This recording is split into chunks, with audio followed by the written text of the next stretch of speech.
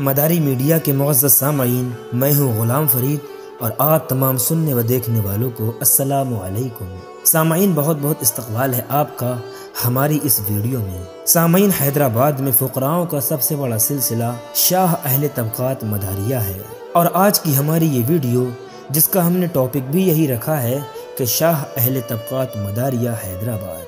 तो आज की ये वीडियो इस मौजू की पहली किस्त है, यानी पहला पार्ट है। और आइंदा जो वीडियो आएँगी वो इसी टॉपिक पर होंगी। शाह अहले तबक़ात मदारिया हैदराबाद। शाह अहले तबक़ात मदारिया हैदराबाद। सामाइन हुजूर सैदना मदारुल आलमीन रदी अल्लाह के फैज़ की शम्मा, जब सरजमीन दक्कन पर पड़ी तो दक्कन की सरजमीन इस तरह रोशन हुई कि दक्कन की सरजमीन भी मदारी बुज़ुर्गों का चमनिस्तान बन गई। और आज हम उसी चमनिस्तान के दरीचे से मदार पाक के एक अकीदतमंद का ज़िक्र इस वीडियो में करेंगे, जिसे दुनिया सुल्तान मोहम्मद कुली कुतुब शाह के नाम से जानती है। सामाइन मोहम्मद कुली कुतुब शाह गोलकुंडा के कुतुब शाही खानदान के पाँचवें सुल्तान थे। कुतुब शाही खानदान की बुनियाद, सुल्तान कुली कुतुब शाह ने सुल्तान महमूद शाह बमनी मुतवफ़ी 924 हिजरी की सल्तनत के जवाल होने के बाद 918 हिजरी में रखी, जो कि सुल्तान मोहम्मद शाह लश्करी के दौर इकतदार में इमारत के दर्जे पर फाइज और गोलकुंडा के सिपह सालार थे। सामाइन, जैसा कि हम बता चुके हैं कि मोहम्मद कुली कुतुब शाह गोलकुंडा के कुतुब शाही खानदान के पाँचवें सुल्तान थे। यानी कि ये 1580 ईस्वी में तख्त पर बैठे और इकतीस साल तक हुकूमत की। ये अहले बैत के बड़े शहदाई थे और इन्होंने ही शहर हैदराबाद की बुनियाद रखी और चार मीनार बनवाए। ये एक काबिल और मुतनज़म हुक्मरान थे और उर्दू के पहले साहिब दीवान शायर भी थे। इनके दौर की हुक्मरानी को कुतुब शाही खानदान की सबसे आला हुक्मरानी समझी जाती है।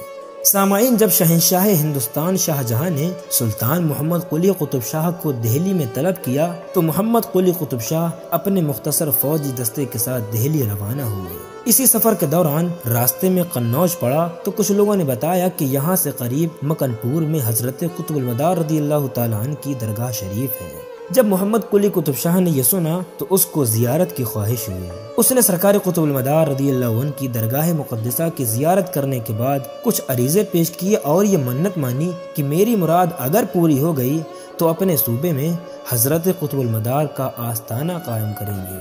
अल्लाह ताला के फजल करम से मोहम्मद कुली कुतुब शाह की वो मन्नत पूरी हो गई। सामाइन ये उस वक्त की बात है कि जब हैदराबाद में चार मीनार तामीर नहीं हुआ था, बल्कि चार मीनार के कायम होने का तामीरी काम चल रहा था। सामाइन अब आप मोहम्मद कुली कुतुब शाह की अकीदत मंदी का अंदाज़ा यहाँ से लगा लें कि चार मीनार तामीर होने से पहले ही ठीक उसी के सामने सुल्तान मोहम्मद कुली कुतुब शाह ने पंद्रह सौ बानवे ईस्वी में चार कमान बनाकर उसमें हज़रत ज़िंदा शाहमदार रदी अल्लाह तन का आस्ताना कायम फरमा कर हज़रत कुतुबुलमदार रदी अल्लाह से अपनी रूहानी वाबस्तगी का सबूत दिया। सामाइन कुछ अरसे के बाद 1618 ईस्वी में कुतुब शाही खानदान की हुकूमत को जवाल हुआ और आसफ जाही हुक्मरानी शुरू हुई, जिसकी बुनियाद मीर कमरुद्दीन ने रखी, जो कि मुगल बादशाह मोहम्मद शाह बिन बहादुर शाह अव्वल के अजीम मुगल दरबारी थे। और इसी आसफ जाही खानदान के पांचवे हुक्मरान आला हज़रत अफजलुद्दौला बहादुर को भी अलिया अल्लाह से दिली अकीदत थी। आपके दौर में भी सरजमीन दक्कन अलिया अल्लाह के नूर से मुनवर थी। ऐसे ही दरखशिंदा दौर में तरीक़त का एक और चाँद तुलू होता है और वो है इमाम तरीक़त हज़रत सैयद इमाम अली शाह आशकान मदार रहमत सामाइन हम इनशाला इनके हालात पर अपनी अगली वीडियो में, यानी दूसरे पार्ट में नज़र डालेंगे। तब तक के लिए अल्लाह हाफिज। तब तक के लिए।